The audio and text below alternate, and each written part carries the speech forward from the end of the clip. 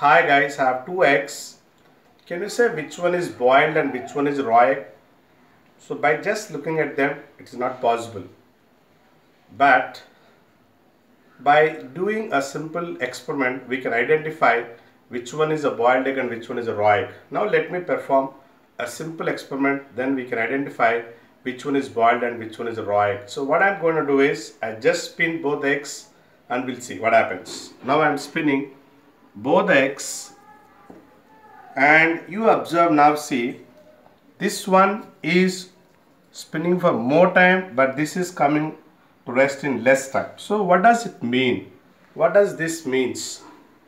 This egg we say that it's a boiled egg and this egg which spins for less time is a raw why this is spinning for more time and why this is spinning for less time? Let me explain uh, from law of conservation of angular momentum, we know that uh, I1 omega 1 is equal to I2 omega 2. That means the one having more moment of inertia will have less angular velocity and vice versa. So the boiled egg, what happens is when we when we uh, boil egg, all the mass is solidified. So it will have less angular moment um, um, moment of inertia. Hence it spins for more time. Whereas in case of boiled egg, I mean the raw egg, the mass is not solidified. So with the moment I spin this, all the mass will be thrown away.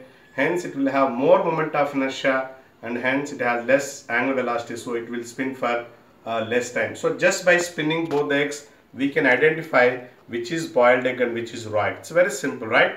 So uh, thanks for watching my video and if uh, leaves some comments below my videos and subscribe my videos. Thank you. Thanks for watching.